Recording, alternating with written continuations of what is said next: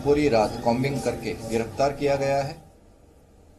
આગળ વધી હથિયારધારી બે સંદિગ્ધ દેખાતા વડોદરા શહેરમાં એલર્ટ આપવામાં આવ્યું મકરપુરા એરફોર્સ નજીકના હાઈવે પાસે શકમંદો દેખાયા હતા મકરપુરા એરફોર્સમાં મિસાઇલ બનાવવાની પણ કામગીરી થાય છે ત્યારે આર્મી જવાનોના રહેણાંક મકાનો પણ અહીંયા આવેલા છે ત્યારે હથિયારધારી સંદિગ્ધોને પકડવા પોલીસ દ્વારા સર્ચ ઓપરેશન કરાયું અને બંને સંદિગ્ધ આતંકી છે કે નહીં તેને લઈને પોલીસ એલર્ટ છે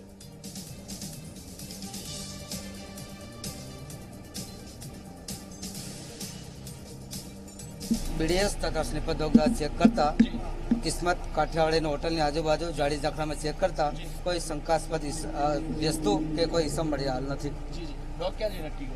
ડો- ડોક અમે તમામ જગ્યાએ ચેક કર્યું કોઈ જગ્યાએ અટકેલ નથી.